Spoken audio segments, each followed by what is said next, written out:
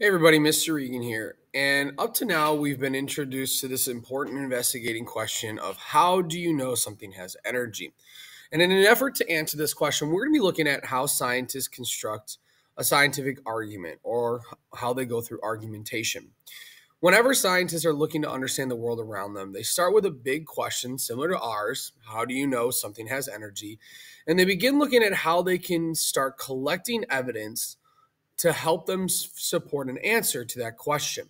And these questions can range in different ways around different things. And though ours deals with energy, the same process goes for any scientific question about the natural world.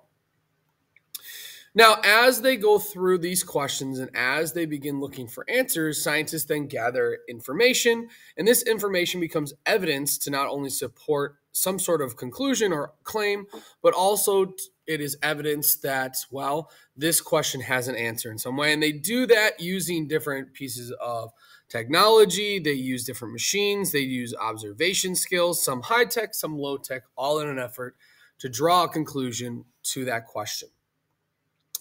So, whenever a scientific argument is created, it begins with a question similar to ours How do you know something has energy? From there, we create a claim that proposes an answer to the question. It has evidence that supports that claim. And here's the important part has a clear explanation or clearly explains how the evidence supports the claim. All these things create a scientific argument that allows us to understand the natural world. Another way to look at it is through this flow chart. And though this flow chart might seem like it has a start and finish, really it's constantly being redone and reused.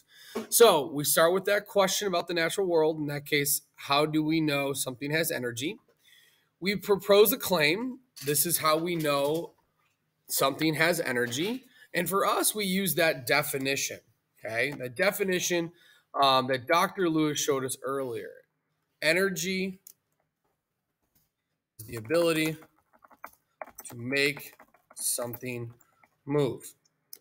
So if this was our claim, how do we know something has energy?